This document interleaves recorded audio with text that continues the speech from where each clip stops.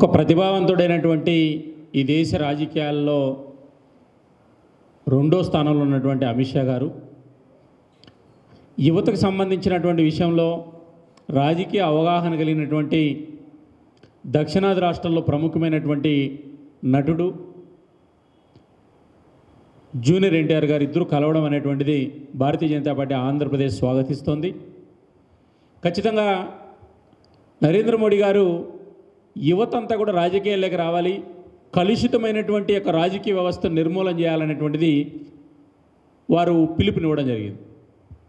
ఖచ్చితంగా తెలుగు రాష్ట్రాల్లో అమిత్ షా గారు అదేవిధంగా జూనియర్ ఎన్టీఆర్ గారి యొక్క కలయిక ఏదైతుందో దీని ప్రభావం ఖచ్చితంగా ఉంటుంది.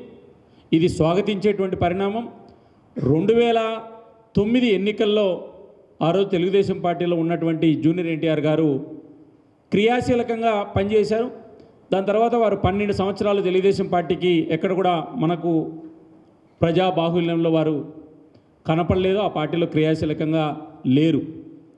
ఈరోజు అమిత్ షా గారిని కలిసినటువంటి యొక్క విషయంలో ఖచ్చితంగా వీరి యొక్క ఇద్దరి కలయిక వందకు వంద శాతము రాబోయే రోజుల్లో రాజకీయ పరిణామాలు కానీ రాజకీయ మార్పుకు కానీ ఇది నాంది ఉండబోతుంది.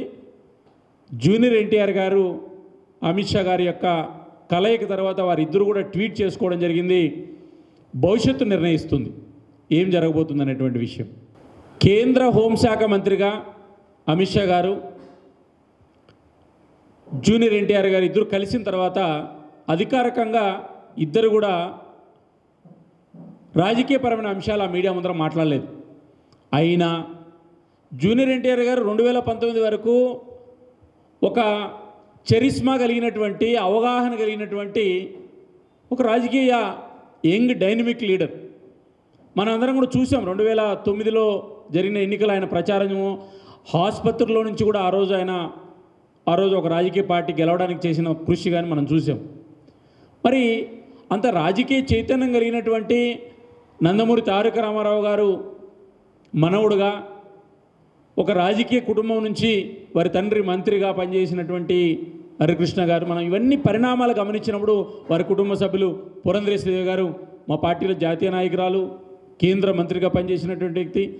ఇవన్నీ కూడా ఒక రాజకీయ కుటుంబం నుంచి వచ్చినటువంటి ఒక వ్యక్తి ఈ దేశంలో ఒక ప్రముఖ రాజకీయ నాయకుడు బీజేపీ జాతీయ అధ్యక్షుడిగా పనిచేసిన అమిత్ షా గారిని కలిసినప్పుడు సహజంగానే మనం దీన్ని నరేంద్ర మోడీ గారు లేకపోతే బీజేపీ యొక్క పాలనను ఖచ్చితంగా వారు ప్రశంసించుంటారో ఆ కోణంలోనే మనం చూడొచ్చు.